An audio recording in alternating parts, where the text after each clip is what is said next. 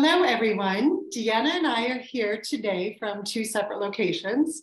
So Deanna's on holiday in Florida right now, and I'm back at our Tim and Brow Diva headquarters in Rochester, New York. So uh, we're going to get started today. Um, what are we doing first, Deanna? We're going to talk about the eye definer shadow. It's actually the part two of the first step. Um, that's the that's the one that I, I, I have to say that um, is the that's been the hardest for me because I always use too much, right? Too much shadow, and I um, so it would be really great for you to get to give us a couple pointers about that. And you're saying that you know just start with this not even the eye definer yet. Yeah so so for those women and there's so many women out there that say i can't do eyeliner. I've never been able to do eyeliner. And so that is one of the reasons why I named this step eye definer. Because what the difference in an eyeliner and an eye definer is that an eyeliner just rims the eyes. It doesn't really have a purpose or a function other than bringing attention to this line around your eyes. So, from an, a portrait artist perspective, what I want to do is create the definition of the eye. So, on a blank canvas, I have to draw all of the the contour, the highlight, you know, just uh, every little detail to create the eye. But all we have to do on ourselves is just to give definition. And I direct people right into the the seam between i'm going to get really close here between the lid and the lashes right here it's like you know just right right at the base of the lashes so the eye definer marker which is actually step number one is a felt tip marker it actually has a, like a, a marker tip on the end and so that is very challenging for women to use at first. So I'm not going to demonstrate that today, but I'm going to do part two of step number one, which is the eye definer shadow. So it is a black matte shadow. And I just go back and forth one time, just one time. And then use your hand as a palette and work that fine black powder into the skin on your hand so that it's working it into the brush so that it goes on this area very smoothly and we don't get any crumbs underneath. And then throughout the day, when you're blinking and you might be squinting, that none of that comes away from this area. So also, I get it. I get it on the lid. You get it on the lid because you have hooded lids too, and it's because you're using too much and it's a little higher than it needs to be.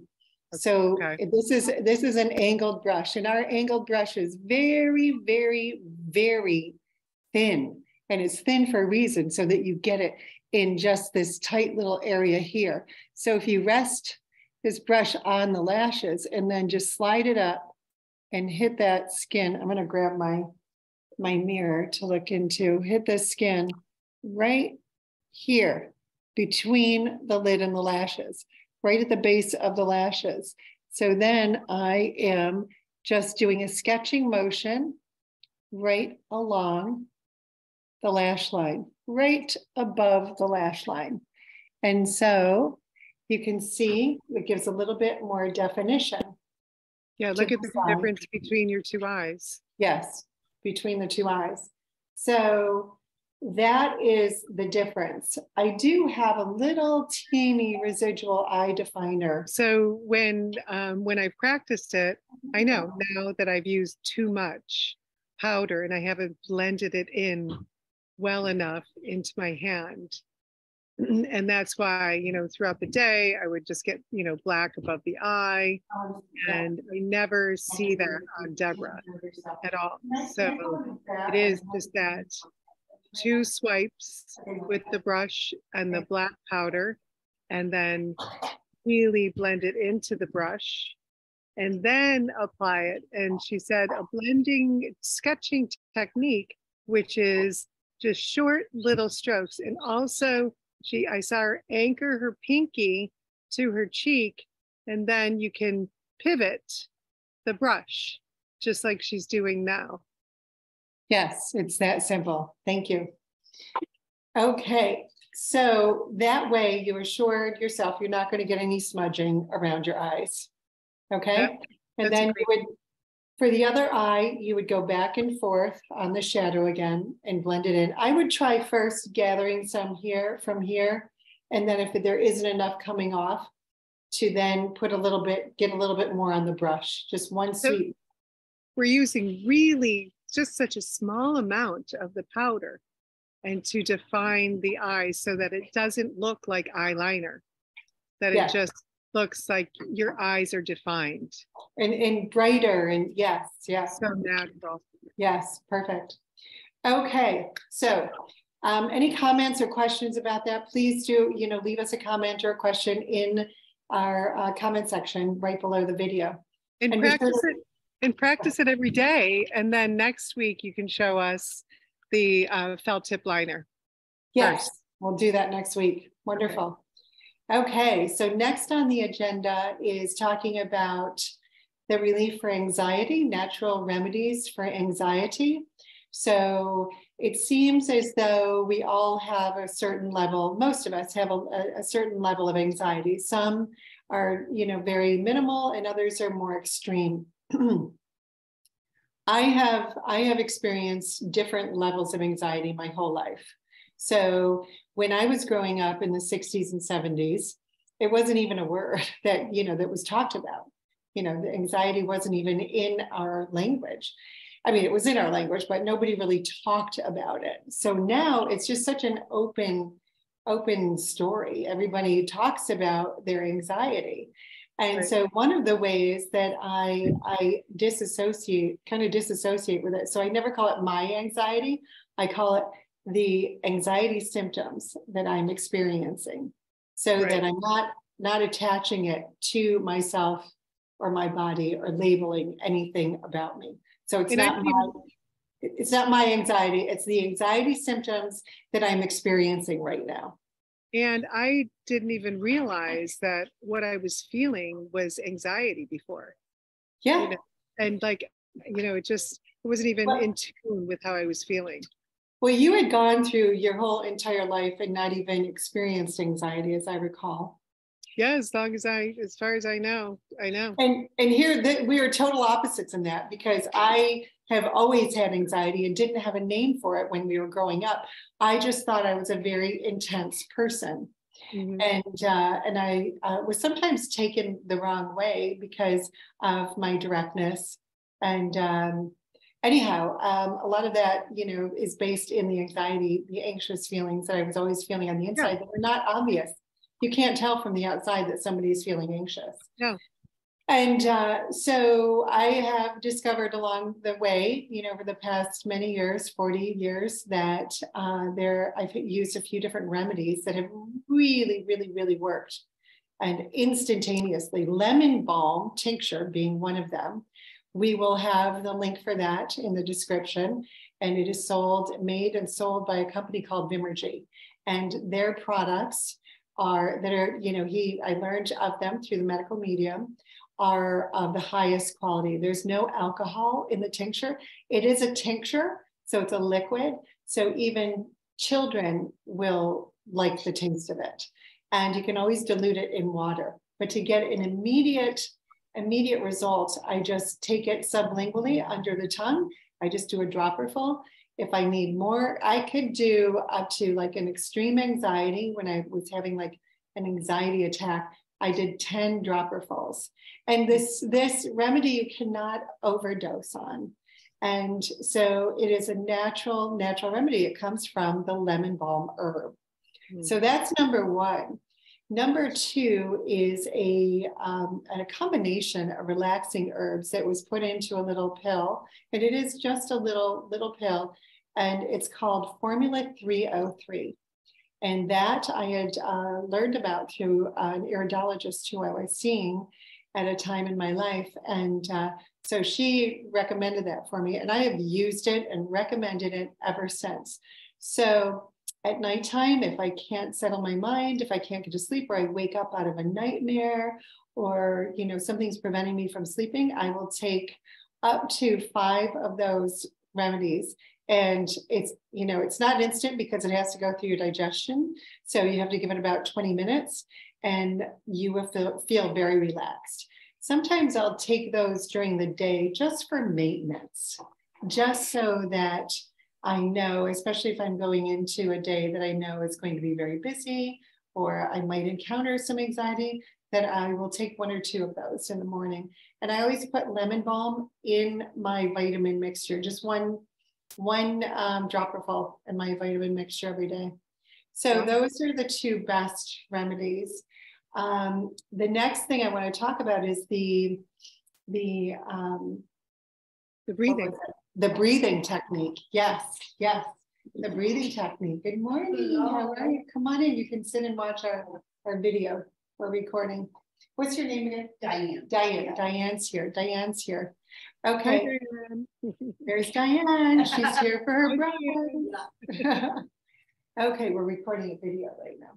Uh, so the breathing technique, and I teach this so that it's easy to create this new habit in your life, um, knowing how busy we are. So there's something that we, most of us all do, and we do it unconsciously. We don't have to think about it when we're doing that, and that is driving. So when we get in the car, you don't have to think about every little thing that you have to do. So you just get in, you get all settled. Before you put your car in gear, take three deep breaths. Just three of those. And then put your car in gear. And even one deep breath really relaxed me. So three is the magic number. And so then when you get to your destination, before you get out of the car, you know, you get everything ready, you turn the car off, everything. And before you put your door, your hand on the door handle, take three more deep breaths just three of those. And then I've also used it uh, at red lights, where when there's a red light, instead of thinking about like many other, you know, rushing lights, yeah, yes, exactly. That, red lights, so exactly. Take a deep breath. You can do yeah. it with the eyes open or closed, just yeah. even one deep breath.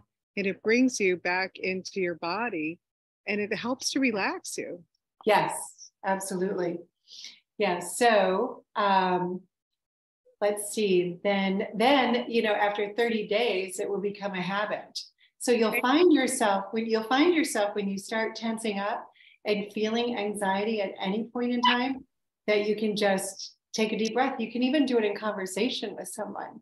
You know, you can do it, you know, less obviously, you know, just take a deep breath while you're talking, even while you're talking, which I just did. And that just brings us right back into, into the center, into our bodies, into our hearts. And so we can be more of who we are as a, you know, and respond as a, opposed to reacting, which is an automated response when, especially when we're in an anxiety moment. Mm-hmm. Mm-hmm. Okay. And, um, so one tip I'd like to give that I've I've witnessed you give clients is to write the word breathe on a post-it note and just put it on your dash or put it on your your radio and keep it there and maybe move it around just so that you remember when you get in the car to take a deep breath take three deep breaths or when you're before you get out of the car to take three deep breaths. Yeah.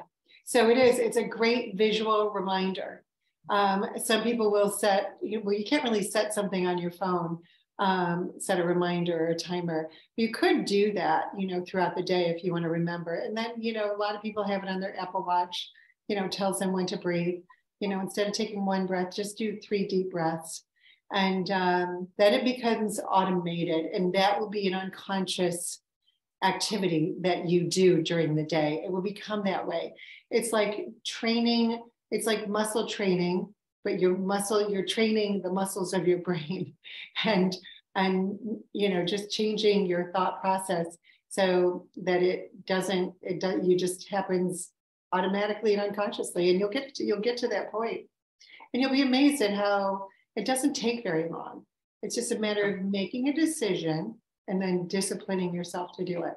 Yes, yes, okay. and getting in the habit of doing it. It only takes 21, 28 days to get in a habit. Right, exactly. automatic. Yes. And now we wanted to also talk about our living our lifestyle, you know, of being plant based. Um, um, and taking it on the road. Taking it on the road. So when we're in our travels. So Deanna, um, you could speak a little bit about your experience this week. Um, and then, then we're going to wrap things up. Yeah. So I um, I learned from Deborah and Sam. I made my smoothie the night before we were going to take off, and we just did a car trip. So I had everything packed, and I made my smoothie, and um, and then you know I even brought my my juicer, my citrus juicer, and my celery juicer, my citrus juicer, and my Vitamix with me, and uh, made a couple salads. And because we don't use oil on the salad, um, I just use a citrus juice and maybe a little honey and fresh garlic. So it was just so easy to have the salads already made. And I had apples and dates. And so when we drove for 15 hours, I, I didn't have to stop for food. We had all the food. And then when I got here and I set everything up in the kitchen, we went to the grocery store. I brought bought some more food and then the best thing is, is I had heard about a vegan restaurant here in Sarasota, and um, I went to, to, see it the other day, and it was just it was so fantastic. Just what's the name of it? It was a raw vegan restaurant called Ione, and Ione is um, her name.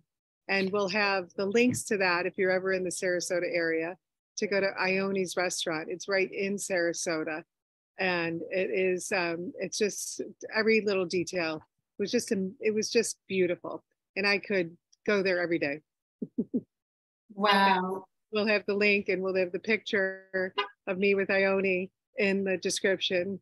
And i was telling ione about our tim our tim makeup and really the you know the mission is to bring everyone into their center and show everyone their beauty. And she asked if we would come and do an event there well, that's exciting. I can't wait to go there and meet Ione and do and do the event too. Yeah. If yeah. anyone's in the Sarasota area, um, connect with us and we'll let you know when we're going to be at Ione's to uh, do a Tim presentation. That, that's going to be fun. Um, and let's see, and next week I'll talk about my adventure on the road because my daughter Sam and I car camped for a week in Florida and we were on the East Coast of Florida. And it was just a week before Deanna went. And it was a much different experience. I didn't stay in an Airbnb. So I didn't have my own juicers and, and uh, Vitamix and everything. But I'll be, um, uh, we'll be looking forward to telling you all about it next week. And uh, anything else for today, Deanna? Or we did we cover everything? Oh, that's that's great. Just remember, remember you're doing this for you. You're doing this to really feel good every day and we can we can feel good every day it takes some effort but know that really there's nothing more important than feeling really good and that you can be in control of how you feel because you're the only one that knows how you feel. Yes i love that. Thank, thank you. you. everyone for watching. We'll see you next week. Thank Bye. you. Bye. Have a great week. Bye.